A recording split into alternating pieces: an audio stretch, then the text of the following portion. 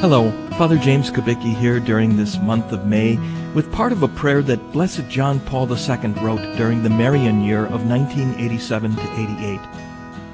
Mother of the Redeemer, with great joy we call you blessed. In order to carry out his providential plan of salvation, God the Father chose you before the creation of the world. You believed in his love and obeyed his word. The Son of God desired you for his mother when he became man to save the human race. You received him with ready obedience and undivided heart. The Holy Spirit loved you as his mystical spouse, and he filled you with singular gifts. You allowed yourself to be led by his hidden and powerful action. We entrust to you the Church, which acknowledges you and invokes you as Mother. On earth, you preceded the Church in the pilgrimage of faith.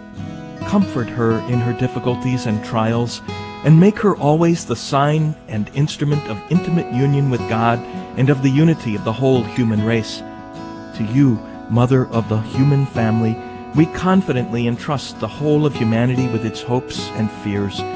Do not let it lack the light of true wisdom. Guide it to seek freedom and justice for all. Direct its steps in the way of peace. Enable all to meet Christ, the way and the truth and the life.